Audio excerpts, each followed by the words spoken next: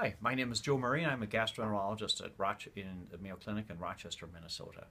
And I'm talking to you today about a recent paper published from Israel, and this is on the economics of celiac disease. You know, much is known about the uh, diagnosis of celiac disease, about how many people it affects, but there's not quite so much known about the economics of celiac disease, in particular, what impact the diagnosis of celiac disease has on healthcare costs.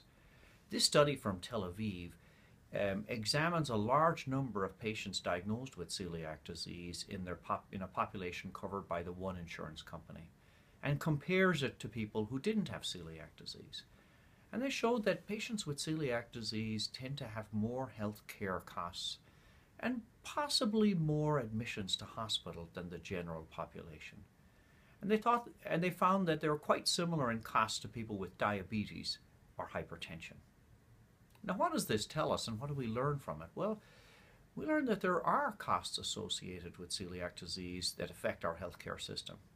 Also, uh, other studies, including a study previously from the Mayo Clinic, has shown that after diagnosis, the healthcare costs of patients with celiac disease go down, suggesting that it's important to consider celiac disease, to look for celiac disease, and to treat celiac disease. And not only will it make people feel better, but hopefully also reduce the burden on the healthcare system.